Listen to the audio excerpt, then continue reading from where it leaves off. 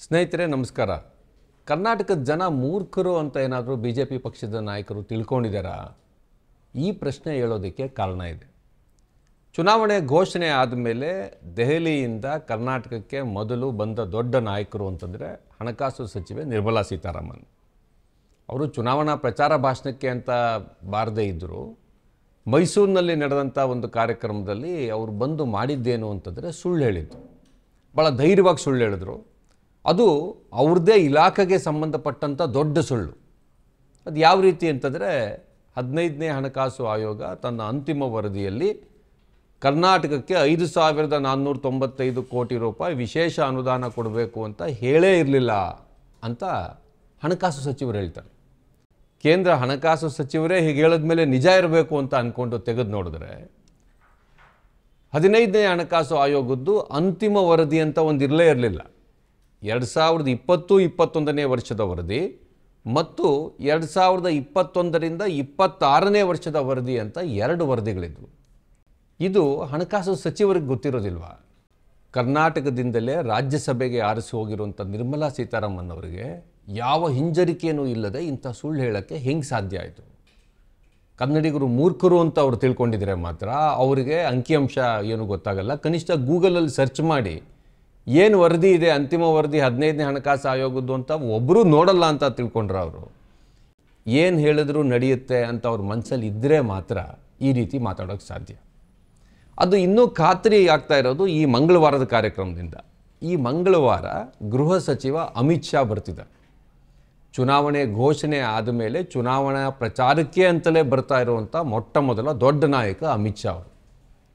ಅಮಿತ್ ಶಾ ಅವರಿಂದ ಕರ್ನಾಟಕದಲ್ಲಿ ಲೋಕಸಭಾ ಚುನಾವಣಾ ಪ್ರಚಾರವನ್ನು ಉದ್ಘಾಟಿಸ್ತಾ ಇರೋದೇ ಕರ್ನಾಟಕ ಜನತೆಗೆ ಅವಮಾನ. ಇದು ಯಾಕೆ ಅವಮಾನ ಅನ್ನೋದು ಒಂದು ಜನರಲ್ ಅರ್ಥದಲ್ಲಲ್ಲ, ಇದಕ್ಕೆ ನಿರ್ದಿಷ್ಟವಾದಂಥ ಕಾರಣ ಇದೆ. ಈ ಮುಂದೆ ಇಡ್ತಕ್ಕಂಥ ಎಲ್ಲ ಅಂಕಿಅಂಶಗಳನ್ನು ಮತ್ತು ಮಾಹಿತಿಯನ್ನು ನೋಡಿದ್ರೆ ನಿಮಗೆ ಗೊತ್ತಾಗುತ್ತೆ. ಕರ್ನಾಟಕ ರಾಜ್ಯ ಹಿಂದೆಂದೂ ಇಲ್ಲದೇ ಇರೋಷ್ಟು ತೀವ್ರವಾದಂಥ ಬರದಲ್ಲಿ ಸಿಲುಕಿದೆ, ನಲುಗ್ತಾ ಇದೆ. ಈ ವಿಚಾರದಲ್ಲಿ ನಿಯಮಾನುಸಾರ ಕರ್ನಾಟಕ ಸರ್ಕಾರ ಕೇಂದ್ರಕ್ಕೆ ಪತ್ರ ಬರೆದಿದೆ. ಕರ್ನಾಟಕದ ಇನ್ನೂರ ನಲವತ್ತರಲ್ಲಿ ಇನ್ನೂರ ಇಪ್ಪತ್ತ್ಮೂರು ತಾಲೂಕುಗಳು ಬರಪೀಡಿತ ಅಂತ ಘೋಷಣೆ ಆಗಿದೆ ಹವಾಮಾನ ಇಲಾಖೆ ಮುಂದಿಟ್ಟಿರುವಂಥ ಅಂಕಿಅಂಶಗಳ ಪ್ರಕಾರ ಕಳೆದ ನೂರಿಪ್ಪತ್ತೆರಡು ವರ್ಷಗಳಲ್ಲಿ ಅತ್ಯಂತ ಹೆಚ್ಚು ಬರ ಎಪ್ಪತ್ತ್ಮೂರು ಪರ್ಸೆಂಟು ಮಳೆ ಕೊರತೆ ಆಗಸ್ಟ್ ತಿಂಗಳಲ್ಲಿತ್ತು.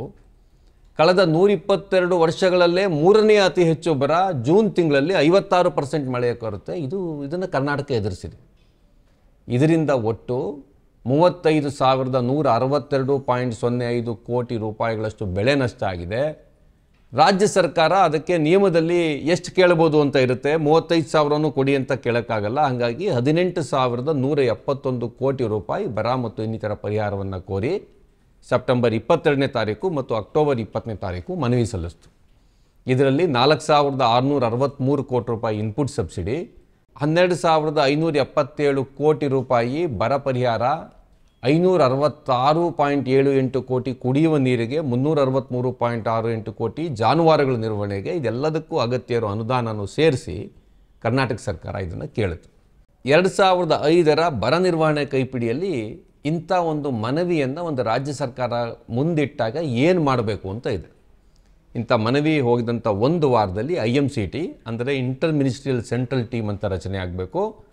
ಅದು ಖುದ್ದಾಗಿ ರಾಜ್ಯಕ್ಕೆ ಭೇಟಿ ನೀಡಿ ಹತ್ತು ದಿನಗಳಲ್ಲಿ ವರದಿ ಸಲ್ಲಿಸಬೇಕು. ರಾಜ್ಯ ಸರ್ಕಾರ ಹೇಳಿರೋದು ನಿಜಾನ ಸುಳ್ಳ ಅಂತ. ಮತ್ತು ಆ ವರದಿ ಸಲ್ಲಿಕೆಯಾದ ಒಂದು ತಿಂಗಳಲ್ಲಿ ರಾಷ್ಟ್ರೀಯ ವಿಪತ್ತು ನಿವಾರಣಾ ನಿಧಿ ಎನ್ ಡಿ ಆರ್ ಎಫ್ನಿಂದ ಹಣ ಬಿಡುಗಡೆ ಮಾಡಬೇಕು. ಈ ಹಣ ಬಿಡುಗಡೆ ಮಾಡೋ ವಿಚಾರದಲ್ಲಿ ಒಂದು ಹೆಚ್ ಎಲ್ ಸಿ ಅಂತ ಇರುತ್ತೆ, ಉನ್ನತ ಮಟ್ಟದ ಸಮಿತಿ ಅಂತ. ಆ ಸಮಿತಿಯ ಸಭೆ ಸೇರಿ ಅದರಲ್ಲಿ ತೀರ್ಮಾನ ಮಾಡಬೇಕು. ಆ ಸಭೆ ಗೃಹ ಸಚಿವರು ಅಂದರೆ ಅಮಿತ್ ಶಾ ಅವರ ಅಧ್ಯಕ್ಷತೆಯಲ್ಲಿ ನಡಿಬೇಕಾಗಿತ್ತು. ಏನಾಯಿತು ಈ ಆರು ತಿಂಗಳಲ್ಲಿ ಅಂತ ಅನ್ನೋದನ್ನು ಕೇಳಿದ್ರೆ ಕನ್ನಡಿಗರಲ್ಲಿ ನಿಜವಾಗ್ಲೂ ಆಕ್ರೋಶ ಹುಟ್ಟುತ್ತೆ. ಭಾಳ ಒಂದು ರೀತಿ ಅವಮಾನ ಅಂತ ಅನ್ಸುತ್ತೆ. ಯಾಕೆ ಅಂತಂದರೆ ಇವತ್ತಿನವರೆಗೆ ಅಂಥದ್ದೊಂದು ಮೀಟಿಂಗ್ ನಡೀಲಿಲ್ಲ. ಕೇಂದ್ರ ಸರ್ಕಾರ ನಡೆದುಕೊಂಡಿರುವಂಥ ರೀತಿ ಅಪ್ರಜಾತಾಂತ್ರಿಕ ಅಮಾನವೀಯ ಮಾತ್ರ ಅಲ್ಲ, ಕ್ರೌರ್ಯದಿಂದ ಕೂಡಿದೆ. ಯಾಕಂದರೆ ಅನುದಾನ ಬಿಡುಗಡೆ ಮಾಡೋದು ಹೋಗಲಿ, ಆ ಕುರಿತಂಥ ಒಂದು ಸಭೆಯನ್ನು ಕೇಂದ್ರ ಸರ್ಕಾರ ಕರೀಲಿಲ್ಲ. ಅಕ್ಟೋಬರ್ ತಿಂಗಳ ನಾಲ್ಕನೇ ತಾರೀಕಿಂದ ಒಂಬತ್ತನೇ ತಾರೀಕಿನ ನಡುವೆ ಅಧಿಕಾರಿಗಳು ಏನು ಐ ಎಂ ಸಿ ಟಿಯ ಅಧಿಕಾರಿಗಳಿದ್ರು, ಅವ್ರು ಬಂದು ಪರಾಮರ್ಶೆ ನಡೆಸಿದ ಮೇಲೆ ರಾಜ್ಯದ ಸಚಿವರುಗಳ ನಿಯೋಗ ಅಕ್ಟೋಬರ್ ಇಪ್ಪತ್ತೈದನೇ ತಾರೀಕು ಡೆಲ್ಲಿಗೆ ಹೋಗಿ ಖುದ್ದಾಗಿ ಅಮಿತ್ ಶಾ ಅವರ ಇಲಾಖೆ ಕಾರ್ಯದರ್ಶಿ ಮತ್ತು ಕೃಷಿ ಇಲಾಖೆ ಕಾರ್ಯದರ್ಶಿಯವರಿಗೆ ಮನವಿ ಕೊಟ್ಟರು ಬಂದು ಹೋಗಿದ್ದಾರೆ, ಈಗ ಬೇಗ ನಮಗೆ ನೀವು ಅನುದಾನ ಬಿಡುಗಡೆ ಮಾಡಿ ಅಂತ.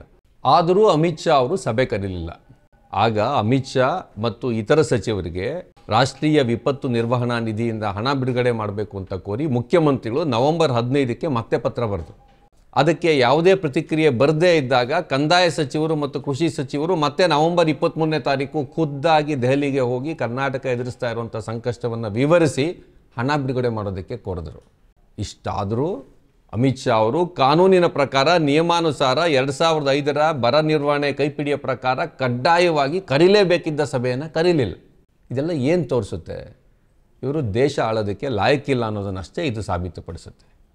ಇದೇ ಅವಧಿಯಲ್ಲಿ ದೇಶದ ವಿವಿಧ ಭಾಗಗಳಲ್ಲಿ ನಡೀತಾ ಇದ್ದಂಥ ಚುನಾವಣಾ ಪ್ರಚಾರದಲ್ಲಿ ಭಾಗವಹಿಸೋದಕ್ಕೆ ಬೇರೆ ಬೇರೆ ಪಕ್ಷಗಳಲ್ಲಿದ್ದಂಥ ಭ್ರಷ್ಟರನ್ನು ತಮ್ಮ ಪಕ್ಷಕ್ಕೆ ಸೇರಿಸ್ಕೊಳ್ಳೋಕ್ಕೆ, ಅದಕ್ಕಾಗಿ ಬೇರೆ ಬೇರೆ ತಂತ್ರಗಳನ್ನು ಹೆಣೆಯೋದಕ್ಕೆ ಇವರಿಗೆ ಸಮಯ ಇತ್ತು. ಇದನ್ನು ನಾವು ಮಾಧ್ಯಮಗಳಲ್ಲಿ ನೋಡಿದ್ದೀವಿ. ಇಷ್ಟೆಲ್ಲ ಆದಮೇಲೂ ಸಭೆ ಕರೀದೇ ಇದರಿಂದ ಕಡೆಗೆ ವಿಧಿ ಇಲ್ಲದೆ ರಾಜ್ಯದ ಮುಖ್ಯಮಂತ್ರಿಗಳು ಮತ್ತು ಕಂದಾಯ ಸಚಿವರು ಡೆಲ್ಲಿಗೆ ಖುದ್ದಾಗಿ ಡಿಸೆಂಬರ್ ಹತ್ತೊಂಬತ್ತನೇ ತಾರೀಕು ಹೋಗಿ ಪ್ರಧಾನಮಂತ್ರಿಗಳನ್ನೇ ಭೇಟಿ ಮಾಡಿ ಮತ್ತೆ ಮನವಿ ಮಾಡಿದ್ರು. ಮಾರನೇ ದಿನ ಡಿಸೆಂಬರ್ ಇಪ್ಪತ್ತನೇ ತಾರೀಕು ಮತ್ತೆ ಗೃಹ ಸಚಿವರನ್ನ ಅಮಿತ್ ಶಾ ಅವ್ರನ್ನ ಭೇಟಿ ಮಾಡಿ ಎನ್ ಡಿ ಆರ್ ಎಫ್ನಿಂದ ಹಣ ಬಿಡುಗಡೆ ಮಾಡೋ ಸಲುವಾಗಿ ನೀವು ಉನ್ನತ ಮಟ್ಟದ ಸಭೆ ಕರಿಬೇಕು, ದಯವಿಟ್ಟು ಆ ಸಭೆ ಕರೀರಿ ಅಂತ ಕೋರಿದ್ರು. ಡಿಸೆಂಬರ್ ಇಪ್ಪತ್ತಕ್ಕೆ ಈ ಭೇಟಿ ಆಗುತ್ತೆ. ಡಿಸೆಂಬರ್ ಇಪ್ಪತ್ತ್ಮೂರನೇ ತಾರೀಕೇ ಸಭೆ ಕರಿತೀವಿ ಅಂತ ಕರ್ನಾಟಕದ ಮುಖ್ಯಮಂತ್ರಿಗಳ ನಿಯೋಗಕ್ಕೆ ಅವರು ಭರವಸೆ ನೀಡ್ತಾರೆ. ಆದರೆ ಆ ಸಭೆ ನಡೀಲಿಲ್ಲ.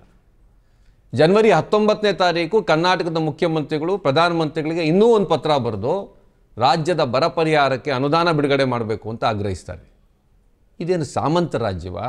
ಅಥವಾ ಯಾರ ಹತ್ರ ಆದರೂ ಭಿಕ್ಷೆ ಕೇಳ್ತಾ ಇದ್ದಾರಾ, ಯಾರ ಹತ್ರ ಆದರೂ ದಾನ ಕೇಳ್ತಾ ಇದ್ದಾರಾ, ಕರ್ನಾಟಕದಿಂದ ಹೋಗ್ತಾ ಇರುವಂಥ ಪ್ರತಿ ನೂರು ರೂಪಾಯಿಗೆ ಹನ್ನೆರಡು ರೂಪಾಯಿ ಮಾತ್ರ ವಾಪಸ್ ಪಡ್ಕೊಳ್ತಾ ಇರ್ತಕ್ಕಂಥ ಒಂದು ರಾಜ್ಯ ಇದು. ಈ ರಾಜ್ಯ ನಮ್ಮಲ್ಲಿ ತೀವ್ರವಾದಂಥ ಬರ ಕಾಡ್ತಾ ಇದೆ. ನೂರ ಇಪ್ಪತ್ತೆರಡು ವರ್ಷಗಳಲ್ಲಿ ಇಲ್ಲದೆ ಇರೋಷ್ಟು ತೀವ್ರವಾದಂಥ ಬರ ಬರ್ತಿದೆ ಅಂತ ಹೇಳಿ ಆಗ್ರಹ ಮಾಡಿದ್ರೆ, ಪದೇ ಪದೇ ಪತ್ರ ಬರೆದ್ರೆ, ಡೆಲ್ಲಿಗೆ ಹೋಗಿ ಭೇಟಿ ಮಾಡಿದ್ರು ಕೂಡ ಒಂದು ಸಭೆ ಕರೀಲಿಲ್ಲ ಅಂದರೆ ಯಾಕೆ ಕರ್ನಾಟಕಕ್ಕೆ ಈ ಶಿಕ್ಷೆ? ಕರ್ನಾಟಕದಿಂದ ಆರಿಸಿ ಹೋಗಿರುವಂಥ ಬಿ ಜೆ ಪಿಯ ಇಪ್ಪತ್ತೈದು ಮತ್ತು ಬಿ ಜೆ ಪಿನ ಬೆಂಬಲಿಸುವಂಥ ಇನ್ನೂ ಇಬ್ಬರು ಸಂಸದರು ಈ ಟೈಮಲ್ಲಿ ಏನು ಮಾಡ್ತಾ ಇದ್ದಾರೆ? ನಿಯಮಾನುಸಾರ ಸಭೆ ಸೇರಿಸಿ ಅನುದಾನ ಬಿಡುಗಡೆ ಮಾಡಬೇಕಿದ್ದಂಥ ಗೃಹ ಸಚಿವರು ಆ ನಂತರವೂ ಸಭೆ ಕರೀಲಿಲ್ಲ.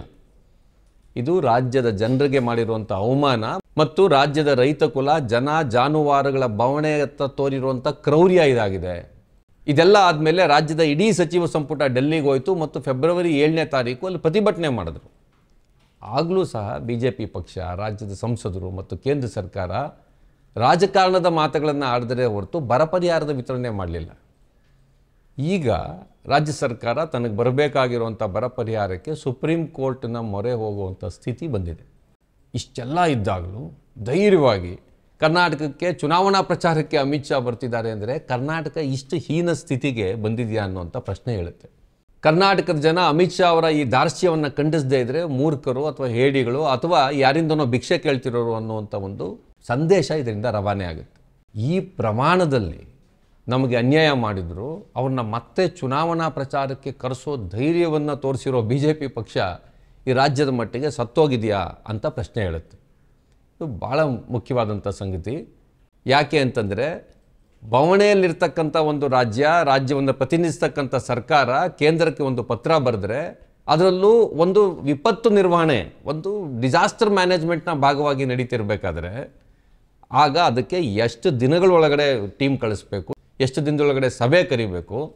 ಮತ್ತು ನೀವು ರಾಜ್ಯ ಸರ್ಕಾರ ಕೇಳಿದ ಅಷ್ಟು ದುಡ್ಡನ್ನು ಕೊಡದೇ ಇರ್ಬೋದು, ಆದರೆ ಎಷ್ಟು ದುಡ್ಡು ಕೊಡ್ತೀವಿ ಅಂತ ತಿಳಿಸೋದಕ್ಕೆ ಒಂದು ಸಭೆ ಮಾಡಬೇಕು, ಇದಕ್ಕೆ ಆರು ತಿಂಗಳುಗಳ ಕಾಲ. ಒಂದು ಕೇಂದ್ರ ಸರ್ಕಾರ ಅದನ್ನು ಪಕ್ಕಕ್ಕಿಟ್ಟು ನೋಡುತ್ತೆ. ಆ ಸಂದರ್ಭದಲ್ಲಿ ಅವರು ಒಂದಾದ್ಮೇಲೆ ಒಂದು ಚುನಾವಣೆಗಳಲ್ಲಿ ಬ್ಯುಸಿ ಇರ್ತಾರೆ. ಮತ್ತು ಚುನಾವಣೆಯಲ್ಲಿ ಬೇರೆ ಬೇರೆ ರಾಜ್ಯಗಳ ಚುನಾವಣೆಗಳಲ್ಲಿ ಇವರನ್ನೇ ಚಾಣಕ್ಯ ಅಂತ ಕರೆದು ಅಲ್ಲೋದ್ರು ಅದನ್ನು ಮಾಡಿದ್ರು ಇದನ್ನು ಮಾಡಿದ್ರು ಅಂತ ಹೇಳ್ತಾರೆ. ಸ್ವತಃ ಅಮಿತ್ ಶಾ ಅವರು ಕರ್ನಾಟಕಕ್ಕೆ ಮೈಸೂರಿಗೆ ಬಂದು ಒಂದು ಕಾರ್ಯಕ್ರಮ ಮಾಡ್ತಾರೆ. ಅದ್ರ ಬದಲಿಗೆ ತಾವು ಒಂದು ಸಭೆ ಕರಿಬೋದಲ್ಲ. ಮತ್ತು ಆ ಸಭೆ ಕರೆದು ಕರ್ನಾಟಕದಲ್ಲಿ ಬರದಿಂದ ನಲುಗ್ತಾ ಇರ್ತಕ್ಕಂಥ ಜನರಿಗೆ ನಾವು ಒಂದು ಸಾಂತ್ವನ ಹೇಳುವಂಥ ಕೆಲಸ ಮಾಡ್ತೀವಿ ಅಂತ ಮಾಡಬೇಕಲ್ಲ, ಅದನ್ನು ಮಾಡ್ತಾ ಇಲ್ಲ. ಕರ್ನಾಟಕದಿಂದ ಇಪ್ಪತ್ತೈದು ಜನರನ್ನು ಅಥವಾ ಒಟ್ಟು ಎನ್ ಡಿ ಎಗೆ ಇಪ್ಪತ್ತೇಳು ಜನರನ್ನು ಗೆಲ್ಲಿಸಿ ಕೊಟ್ಟಿದ್ದಕ್ಕಾಗಿ ಇದನ್ನು ಮಾಡಿದ್ರಾ ಅನ್ನೋ ರೀತಿಯ ಒಂದು ಪ್ರಶ್ನೆ ಇದರಿಂದ ಹೇಳುತ್ತೆ. ಕರ್ನಾಟಕದ ಜನ ಅಮಿತ್ ಶಾ ಅವರು ಬಂದಿರುವಂಥ ಈ ಸಂದರ್ಭದಲ್ಲಿ ಈ ಪ್ರಶ್ನೆ ಕೇಳಲೇಬೇಕು. ಮತ್ತು ಅಮಿತ್ ಶಾ ಅವರಿಗೆ ಮತ್ತು ಅವರ ಪಕ್ಷಕ್ಕೆ ಲೋಕಸಭಾ ಚುನಾವಣೆಯ ಸಂದರ್ಭ ಇದು ಅನ್ನೋದು ಕೂಡ ನೆನಪಲ್ಲಿರಬೇಕು. ಅದನ್ನು ಮಾಡದೇ ಇದ್ದರೆ ಅದು ಅರ್ಥ ಆಗುವ ಹಾಗೆ ಕರ್ನಾಟಕ ಜನ ಮಾಡದೇ ಇದ್ದರೆ ಕರ್ನಾಟಕದ ಜನ ಅವರು ಸ್ವಾಭಿಮಾನ ಇಲ್ಲದೆ ಇರತಕ್ಕಂಥವ್ರು ಮತ್ತು ಕರ್ನಾಟಕದ ಜನ ಕೇಂದ್ರದಿಂದ ಆಗ್ತಿರ್ತಕ್ಕಂಥ ಈ ಅನ್ಯಾಯವನ್ನು ಅವರು ಅರ್ಥ ಮಾಡ್ಕೊಂಡಿಲ್ಲ ಅಂತಾಗುತ್ತೆ.